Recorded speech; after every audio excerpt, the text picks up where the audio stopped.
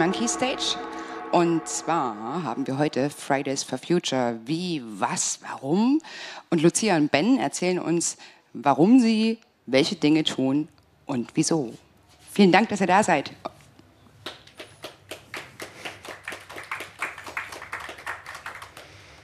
Genau, vielen Dank für die Anmoderation und genau, der Titel unter Talks ist eben Fridays for Future, wie, was, warum und wir wollen euch heute ein bisschen einen Einblick geben, sozusagen, was wir über Fridays for Future machen und die Dringlichkeit genauso erklären, wie auch einen Aufruf machen. Genau. Äh, mein Name ist Lucia Böck, ich bin 19 und studiere Geschichte und Informatik Genau, ich spreche hier von Fridays for Future und bei Fridays for Future organisiere ich eben Demos, mache Forderungen, Kampagnen, Politikergespräche und alles eigentlich. Jetzt kommt Ben. Ja, genau, ich bin Ben, ich bin 21, studiere Informatik in Darmstadt und mache bei Fridays for Future vor allem so Website-Zeug und ein bisschen Social Media und Grafiken. Und wir sprechen hier eben als ein Teil von Fridays for Future, aber nicht als die Vertreter, weil wir sind eine äh, diverse Bewegung, da gibt es jetzt nicht die Vertreter. Genau. Und wir, wir gehen eben immer auf die Straße und schreien, ja, wir sind hier, wir sind laut, weil ihr uns die Zukunft klaut. Und viele Menschen stempeln uns dann ab als hysterisch oder ja, wir behaupten einfach was, was nicht stimmt. Aber das ist falsch. Wir sprechen im Konsens der Wissenschaft. Und es ist einfach leider immer noch so, dass viele Leute nicht begriffen haben, wie die Situation eigentlich ist und wie schlimm die Situation ist. Und für mich persönlich waren sozusagen diese Zahlen mit ausschlaggebend, dass ich begriffen habe, okay, es geht hier einiges schief und wir müssen was ändern. Und zum einen kommt der IPCC-Report ja jährlich raus und der geht jetzt mittlerweile davon aus, dass wir eine Erwärmung bis 2100 haben werden von 3,5 bis 5,7 Grad. Aber was bedeutet das eigentlich? Und dann gibt es eben bei also dann gibt es jetzt so ungefähre Zahlen, was zum Beispiel bei 4 Grad passieren wird. Und da ist jetzt eben die Liste. Also wir reden hier vom 8 bis 20-fachen höheren Anzahl an Hitzetoten. Und das wird vor allem bei alten Menschen stattfinden. Und es wird auch in Deutschland stattfinden. Dann sind 1,2 Milliarden Jobs in Gefahr. Und wieso? Weil sehr viele Jobs eben in der Landwirtschaft hängen und indirekt oder direkt einfach von Klima oder von sozusagen dem Wetter eben auch abhängig sind. Da muss man sich auch vorstellen, die komplette Arktis wird im Sommer eisfrei sein.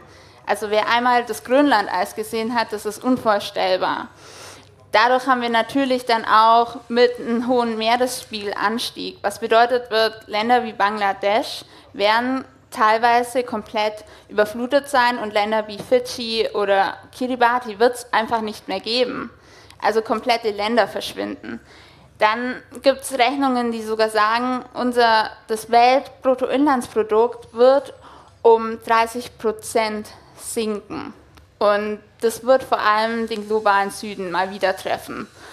Und deswegen ist es auch ganz wichtig, dass man immer wieder gesagt, wir gehen auch für Klimagerechtigkeit auf die Straße, weil was der derzeitige Stand ist, dass wir im globalen Norden, wir können die Folgen abfangen, aber die im globalen Süden, die können das nicht.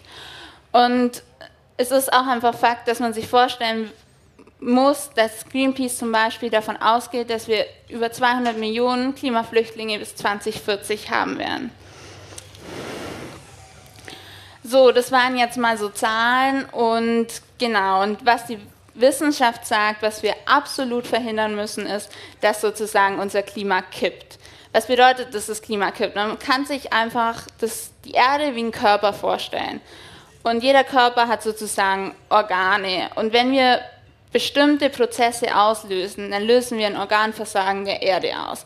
Und das haben wir jetzt mittlerweile schon im Gange, aber wenn wir jetzt wirklich alles unternehmen, dann können wir es vielleicht verhindern, dass es wirklich komplett kippt.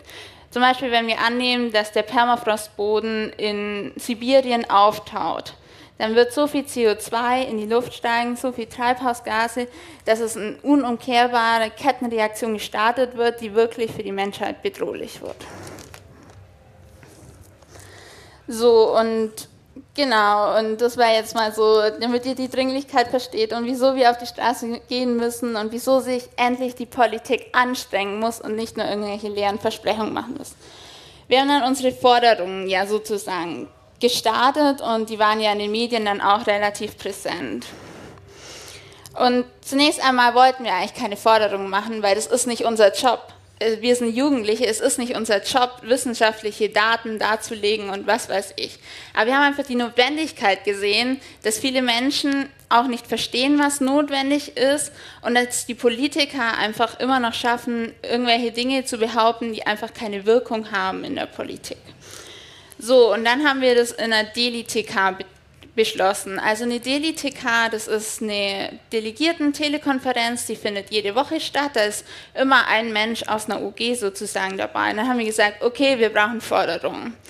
Dann haben wir in vertrauensvollen WhatsApp-Gruppen, bei uns läuft alles über WhatsApp, sozusagen den Aufruf gestartet, jeder kann sich beteiligen und dann ging es auch schon an die Erarbeitung. Da haben sich aber sehr schnell ziemlich viele Probleme aufgetan. Also zum einen Ausrichtung. Inwiefern wollen wir System kritisieren? Inwiefern wollen wir Kapitalismuskritik? Inwiefern wollen wir Wachstumskritik machen? Das waren einfach große Streitpunkte. Und inwiefern wollen wir detailliert sein? Ähm, dann auch die Abstimmung. Wie machen wir eine basisdemokratische Abstimmung, ohne dass es veröffentlicht wird, ohne dass es an die Presse kommt oder ähm, genau und sich auch jeder beteiligen kann?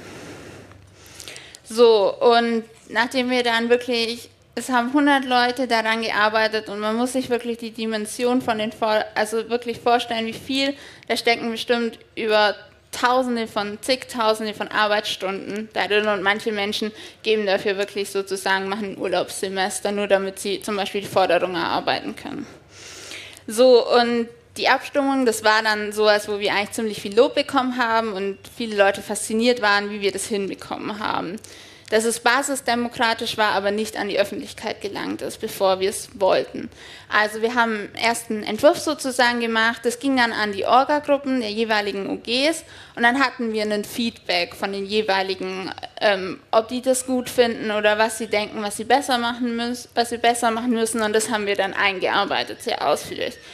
Und dann ging es in die Abstimmung, in die OGs, Orgas wieder und dann war ein Riesenerfolg, weil wir 92 Prozent Zustimmung hatten. Und es gab wirklich keine Berichte in der Presse. Also die Presse hat noch nicht mal wirklich darüber Bescheid gewusst, dass wir überhaupt Forderungen machen. Und es gab ja lange Diskussionen darüber, wie wollen wir das Ganze präsentieren in der Öffentlichkeit. Es gibt ja sehr viele Dinge, sehr viele verschiedene Wege. Am Endeffekt haben wir dann uns für eine Pressekonferenz entschieden. Und die war dann auch sinnbildlich sozusagen im Naturkundemuseum vor den ausgestorbenen Dinosauriern. Das war eigentlich ein ziemlich großer Erfolg, weil wir es geschafft haben, dass sozusagen jetzt auch eine Debatte gestartet wurde über zum Beispiel CO2-Steuer oder bestimmte Dinge. Genau, und jetzt ist wahrscheinlich vielen Leuten hier nicht so ganz bewusst, was die Forderungen von uns sind, so detailliert. Also unsere Forderungen sind eben, dass wir Netto Null 2035 erreichen, Kohleausstieg bis 2030, 100% erneuerbare Energien Energieversorgung bis 2035. Und bis Ende 2019 muss es passieren, dass es Ende der Subventionen für fossile Energieträger gibt dann ein Viertel der Kohlekraft abschalten. Und ein ganz wichtiger Punkt ist, der jetzt auch immer wieder diskutiert wird, ist eine CO2-Steuer auf alle Treibhausgasemissionen und ungefähr so 180 Euro pro Tonne. Und ein ganz wichtiger Punkt ist, dass es eine CO2-Steuer ist, weil zurzeit wird ja immer über CO2-Deckelung, Emissionshandel auf EU-Ebene. Aber es ist Fakt, dass CO2-Steuer das Einzigste ist, was man wirklich schnell genug umsetzen kann und laut der Wissenschaft sozusagen auch das Einzige ist, was noch dafür sorgen kann, dass Deutschland seine Klimaziele erreicht. Ja, genau. Und dann komme ich jetzt zur Geschichte. Es hat ja nicht einfach so angefangen. Und zwar war am 20. August, also vor so gut wie einem Jahr, hat Greta ihren ersten Klimastreik gemacht. Das hat sie dann jede Woche gemacht. Und bei der Klimakonferenz in Katowice wurde sie dann eingeladen. Dann ist es auch ein bisschen übergeschwappt. Dann gab es am 14. Dezember die ersten Streiks in Deutschland. Das war gleich an mehreren Orten, also in Kiel, Frankfurt, Berlin, Köln und noch ein paar Städten. Und das wurde dann eben immer größer. Dann hat die Vernetzung auch angefangen mittels WhatsApp, weil jeder von uns hat WhatsApp. Und dann war das das Naheliegendste, dass man einfach mit WhatsApp zusammenschreibt. Dann gab es immer mehr neue Gruppen. Die wurden immer größer. Das war auch gut. Äh, ja, genau. Und WhatsApp war eben auch gut, weil es die Partition, Partizipation sehr einfach gemacht hat, weil jeder kann einfach schnell mal auf einen Link klicken und ist direkt in der WhatsApp-Gruppe und kann mitsprechen und muss sich nicht irgendwas installieren oder sowas. Wir haben dann nur teils das Problem, dass WhatsApp-Gruppen äh, Mitglieder beschränkt sind und wir dann einfach mehrere Gruppen mit dem gleichen Inhalt haben, wo eben unterschiedliche Menschen drin sind, aber die gleichen Informationen drin sind. Und dann sind auch die ersten Arbeitsgruppen entstanden auf Bundesebene, weil ja zum Beispiel die Pressearbeit muss deutschlandweit gemacht werden und es reicht jetzt nicht, wenn da irgendwie die in Berlin was machen oder die in Hamburg oder man eine Website, man braucht auch eine Website oder einen Social Media Account. Genau, und dann gab es eben die ersten Arbeitsgruppen auf Bundesebene und es wurden dann immer mehr und mehr Streiks, bis dann am 25. Januar der erste zentrale Streik in Berlin war. Der war anlässlich der entscheidenden Tagung der Kohlekommission, wo eben der deutsche Kohleausstieg beschlossen werden sollte. Da gab es dann auch ein Treffen zwischen VertreterInnen von Fridays for Future und der Kohlekommission. Die war, das Treffen war aber leider nicht sehr erfolgreich, weil unsere Forderungen noch nicht durchgesetzt worden sind. Aber bei der Demo in Berlin waren da schon im Januar über 10.000 TeilnehmerInnen. Und da gab es eben auch schon Busse und alles und so ist es dann immer größer geworden. Dass dann im Anfang März das erste Treffen war von der Organisation sozusagen, wo man sich getroffen hat in Berlin weil es ist viel produktiver, wenn man sich trifft und mal zusammenarbeitet, als wenn man immer nur über WhatsApp schreibt, wie man was machen müsste oder mal zusammen telefoniert. Genau. Und dann war Mitte März der erste internationale Klimastreik. Da war in Deutschland eben das Hauptthema Verkehrswende, weil die Verkehrspolitik in Deutschland in den letzten Jahren einfach nur eine Katastrophe war und sehr viel CO2 verursacht hat und die CO2-Emissionen im Verkehr sogar raufgegangen sind, anstatt der äh, notwendigen äh, Abnahme. Und in Deutschland gab es über 300.000 Streikende und weltweit war es über eine Million Streikende, die nur an diesem einen Tag auf der Straße waren. Und es waren eben größtenteils Schülerinnen und Schüler und nicht irgendwelche erwachsenen Menschen.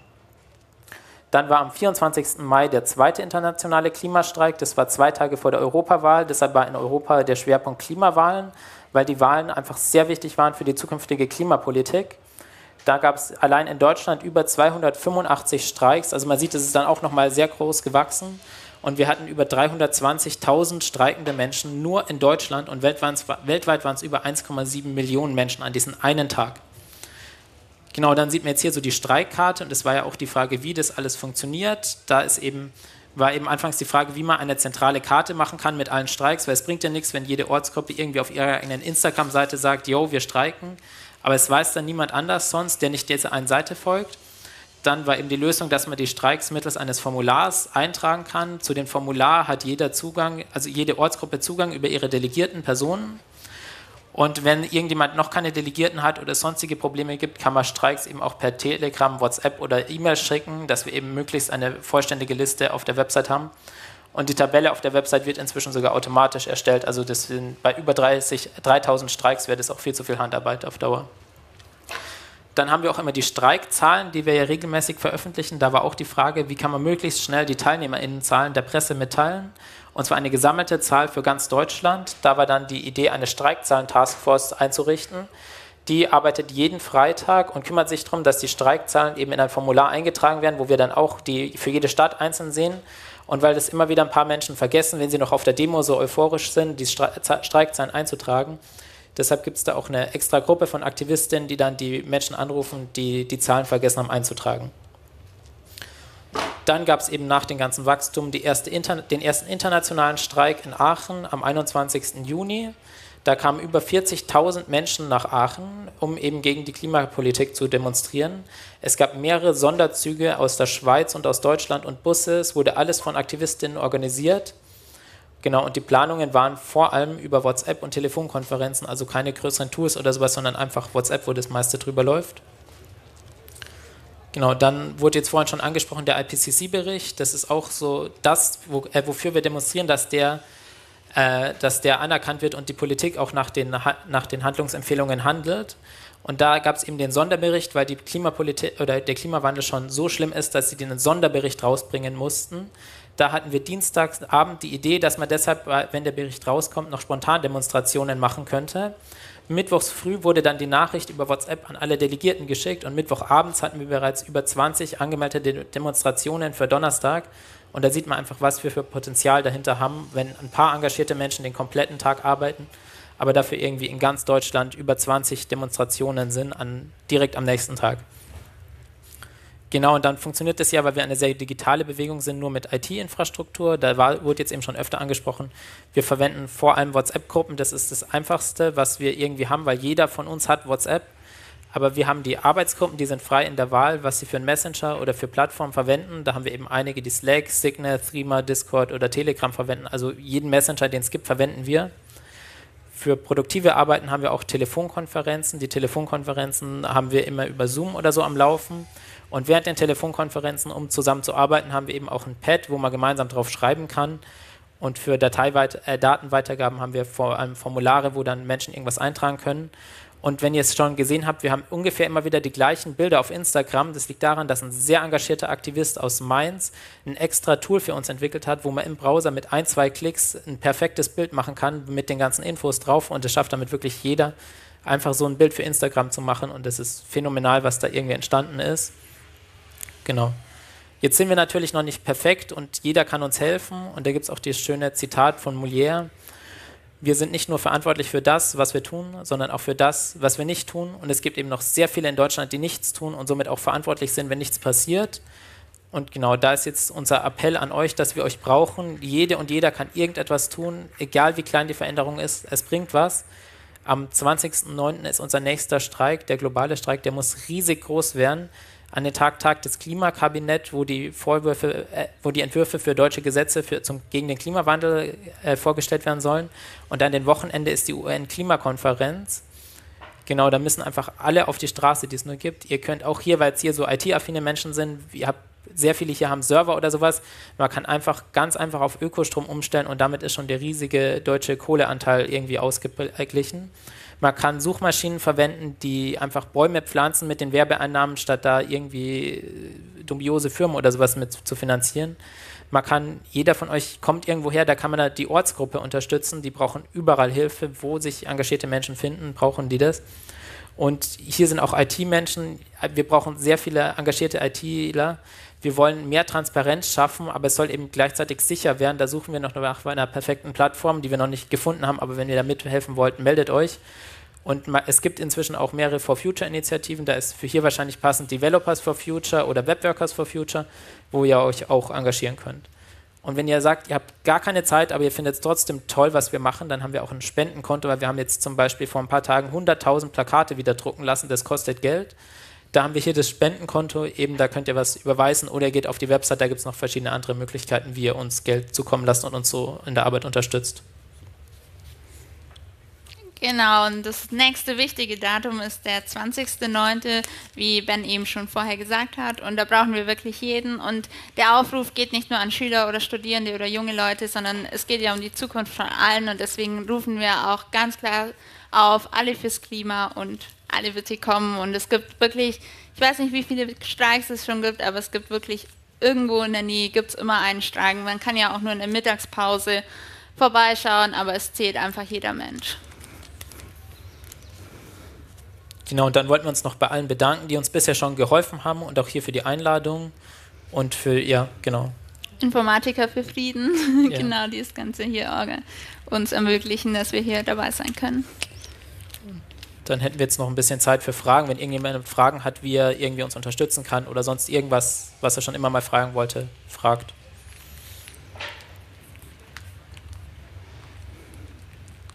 Ja. Wir haben da eine Frage. Hallo, geht das? Ja. Ähm, für diesen Freitag ist hier was in der Nähe, wo man sich beteiligen kann? Also Brandenburg ist bisschen schwieriger. Also ich weiß nicht. Es gibt aber in Berlin eine Demo und wenn sich mehr engagierte Menschen finden, äh, finden hier am Camp, kann man garantiert auch noch eine Sponti schmeißen. Das kommt einfach, wir haben da hinten eine Assembly, kommt dahin, wenn ihr engagiert seid und dann können wir darüber sprechen, hier noch auch was zu organisieren. Wir haben auch Sticker, wenn ihr welche wollt, am Assembly liegen. Genau.